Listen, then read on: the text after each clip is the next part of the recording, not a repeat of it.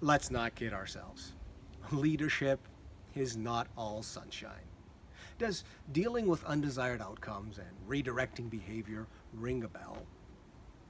Yep, it's part of the job and it's not always fun.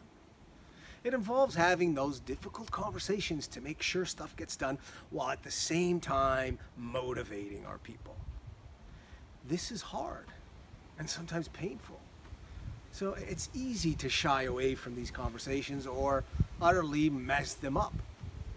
But constructive criticism need not be a problem. It could actually be an uplifting experience for you and your team.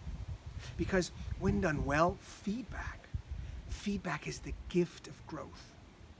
In this talk, I'll share my mistakes, lessons learned, and specific techniques to help you give effective feedback and handle difficult conversations. Let's not kid ourselves. Effective constructive criticism is a skill for clear and cloudy skies.